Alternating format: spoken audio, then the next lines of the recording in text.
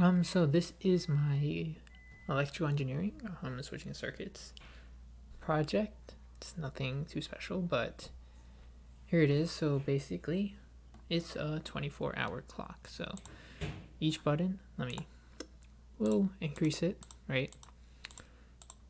Increase by the hour and it will loop, let's see here, it will loop back at 24 to 0. And same for the other one, 60, 60, it will loop.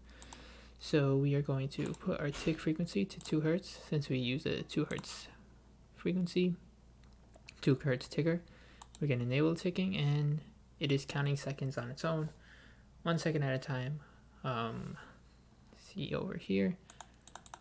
Let's get it to loop around just so we could see that. So once this is going to get to 59, it's going to reset the minute. It's going to make the minute go up one, 15 um, like a clock should. So let's just unable unenable ticking, just so it's easier to explain. So as you can see here, there are three circuits, and all of them consist of more circuits, as you can see on the left over here. So let's start off with the timer.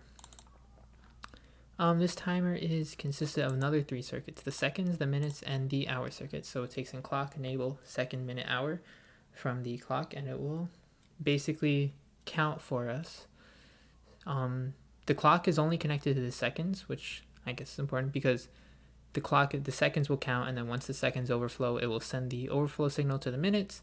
Um, basically, it's just kind of cascaded, and then it will output our stuff back into the back into our clock. As I should mention, I did not mention this before, but it consists of a top to take care of the top half, and the bottom takes care of the top bottom half. Um, display just to make it look pretty. So you can see here, if we are to cut one of the connections, the bottom half will cut out. Put it back in and like that. So anyway, timer has a second, so we're going to go to our second minute. Um, since second and minutes both are going to loop back at 59, we can use the same circuit for them. Um, basically just a big truth table. Um, takes in the clock, takes in the enable, and it just counts. Um, we are using T flip-flop the T flip-flop is going to delay the counting and is going to make it count at one second. It's like it's an asynchronous clock. That's basically all it is over there. And it's going to output everything. It's going to output. Um, this is a binary number, so I mean, if you can count to 60, you're going to need six digits, and it has the overflow.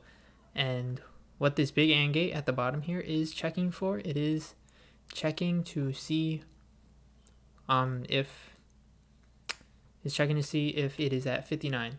So once it is at 59, then it will reset the timer. It will send the overflow signal.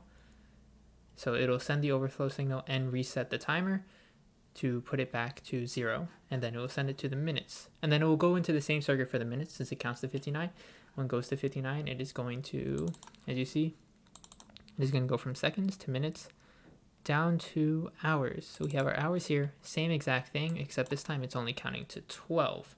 And basically, big AND gate at the bottom here, when it's at 12, it is going to reset overflow, so the whole timer is pretty much going to be, I mean, to 24, it resets at 24. My apologies, it's a 24 hour clock. And it resets the overflow at 24, whole clock gets wiped back to zero. And that is it for the timer. And then there is more. So, as I said before, we have one part controlling the top, on part control in the bottom just to make it look cleaner. Oops, that was a mistake on my half.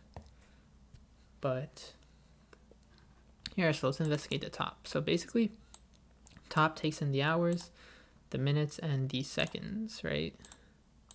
Takes them in, change them, the wires change up, and then it will export them. So there's a lot of circuits here. Um, let's start with these circuits at the bottom, the digit tops. Um, basically, it just takes in the signals and tells the circuit how to output the seven segment display, but only for the top digits, so one for each digit. Um, that's why we have six of them over here. It will display the top half, and as you can guess, this it'll do the same for the bottom, but we use a different circuit just for the bottom half. And then we have our tens and our ones. So these two circuits are very similar, basically it is going to take a binary number. Like let's say it takes in 10, 1, 0, 1, 0. It'll, the tens, the 10 circuit will output 0001 because the tens digit is a one, so it knows to output the it sends the one to the it sends the one to the seven segment display basically and is able to display the top half of the one and the same goes for the one so if you take in 10 it'll have 1 0 1 0 it'll output a 1 from the tens and output a 0 for the ones. So basically here you have the tens going down to the left digit and then the right digit for each number for each hour sec hour minutes and seconds. And it is the exact same for the bottom but basically just kind of upside down. Pretty much the same thing.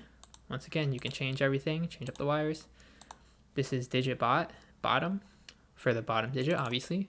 Same thing as digit top, just reversed, pretty much. It'll output it for the bottom digit, and it will take in the tens and the ones just like we had before. And I believe that is all. Thank you for listening.